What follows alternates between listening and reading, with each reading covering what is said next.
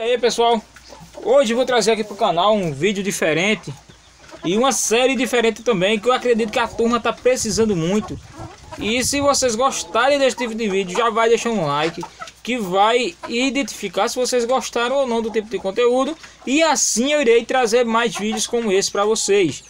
A série é quanto vale. Então hoje de início eu vou mostrar meus sedozinhos aqui para vocês Junto dos sedozinhos tem três legordes que estão com, com, a penagem bem feia aqui, mas estão começando a muda. Isso aí vai ficar bem branquinho.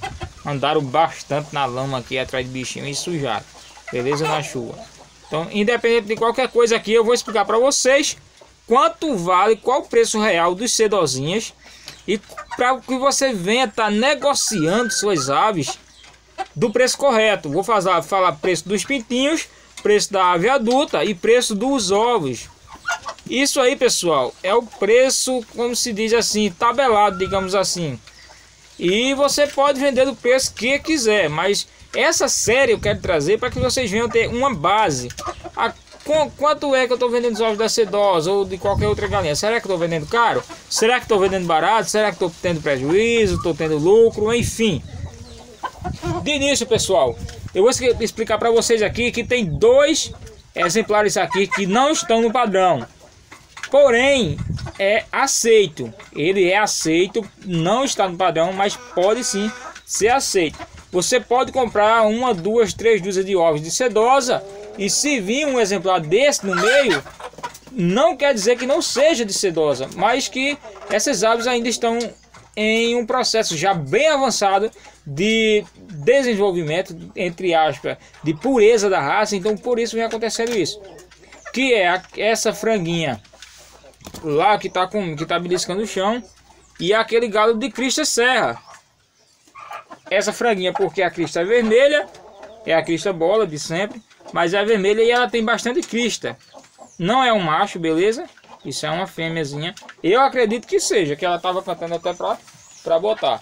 Mas é, sedosa é complicado. Tem algumas fêmeas que ela tem poucas características de macho, certo? Mas o sedozinha mesmo do padrão é esse galo aqui, ó. Já é um galo. Esse está no padrão perfeito. Vejam que nas orelhinhas dele, como fossem as orelhinhas, é branco. A crista ervilha, beleza? E cinco dedos e penas até o terceiro dedo. Tem algumas penas faltando ali para foi arrancada. Aí tem pena no quinto dedo. No dedo do meio. No caso ele tem cinco dedos. E aqui tá, estão vendo aquela lá? Aquelas duas lá do cantinho. Pode ver que a crista dela é bem pequena. E a crista dessa outra que é, que é rosinha, já não é tão pequena assim. Então quanto que você quiser fazer o processo de seleção para ter exemplares cada vez mais no padrão, você vai fazendo isso. As fêmeas do sedosa, vocês peguem como aquela lá, ó, que é a crista bem pequena e o topete co cobre quase toda a cabeça. E ela não mostra muita crista. Essa, essa aqui, ó, da frente, ela já mostra a crista um pouco, porque já tem mais ou menos um ano e pouco que eu já tenho ela. Se brincar até mais de um ano que eu tenho ela, então ela já é um, de idade, já assim, uma, uma galinha feita e a crista aparece. Mas às vezes tem aves de crista feita já de, de galinhas feitas de um ano e a crista não aparece. Fica tipo aquela lá. Aquela ali não vai aparecer a crista. Veja que eu tô perto dela bem grandão. Então você, de principalmente, esses dois, esses exemplares aí, essas duas pintinhas e esse frango, ele tá no, no padrão perfeito. Quando eu falo padrão perfeito, pessoal, é top. Padrão top que você pode aí fazer, multiplicar, que você só vai ter lucro e melhoria no desenvolvimento. Não estou dizendo que esses outros não sejam sedosas. Eles são. E esse sedosa, esse Crista Serra, por exemplo, ele pode tirar pintinho aí. Tudo Crista Bola. Beleza? Mas isso ainda está na genética deles. Então, depois de eu explicar para vocês o que é o padrão aí da sedosa, eu vou explicar para vocês qual o valor que vocês devem vender. Hoje em dia, pessoal, o sedosa, é, o mais popular é o branco e o preto. Esses dois vocês podem estar vendendo aí a dúzia a 80 reais. Eu já vi pessoas aí vendendo a 40 e pessoas vendendo a 130, 140, 150 reais. Mas o preço médio você vender é 80 reais. tanto preto quanto branco, vermelho, enfim, é essa média aí, beleza? Se a ave está no padrão. Agora, se você quer vender mais barato ou mais caro, aí vai de cada um. Mas para você ter uma base e não tá exagerando, nem tá levando prejuízo, beleza? Já o preço dos pintinhos, pintinhos aí até um mês, você pode estar tá vendendo a 20 reais, 20, 25 reais, você tá vendendo até 30 reais.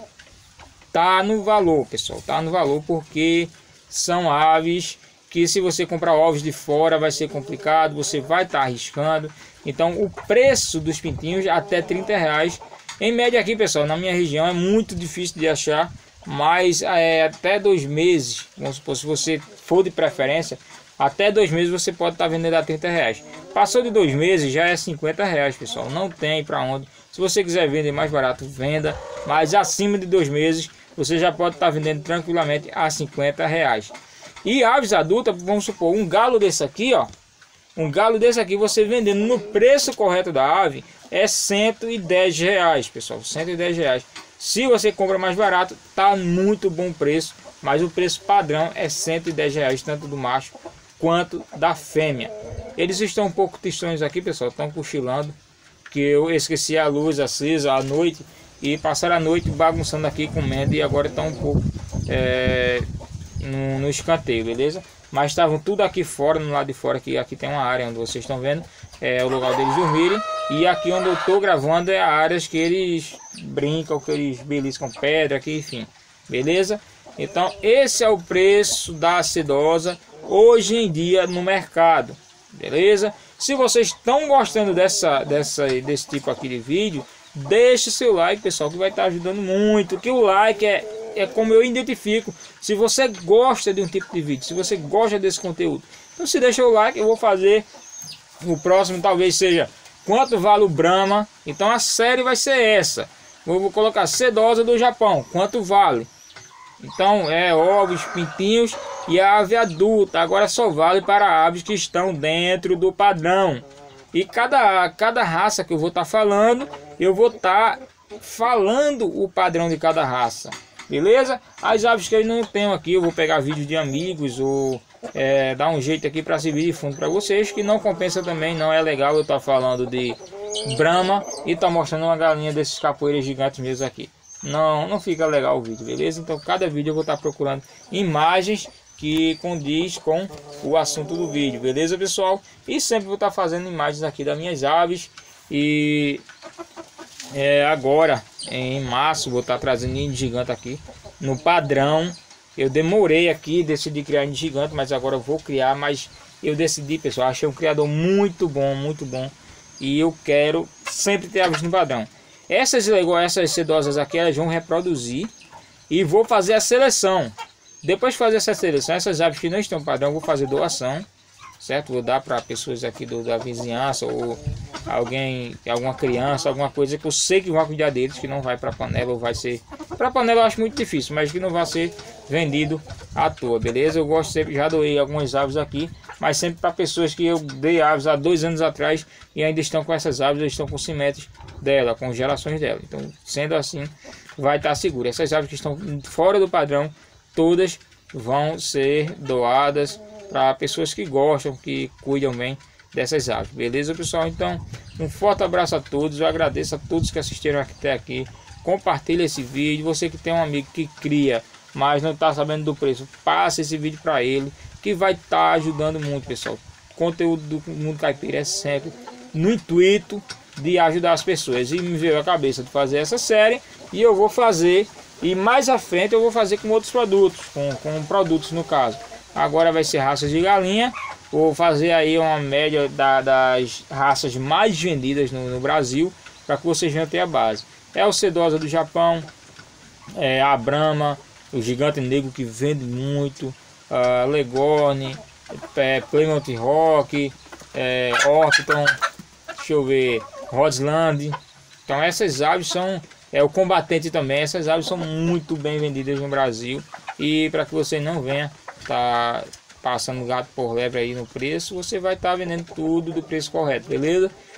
Lembrando sempre que é tudo do gosto de cada um e aqui eu mostrei a média de preço do Sedosa do Japão. Beleza, pessoal? Um forte abraço a todos e até o próximo vídeo, se Deus quiser.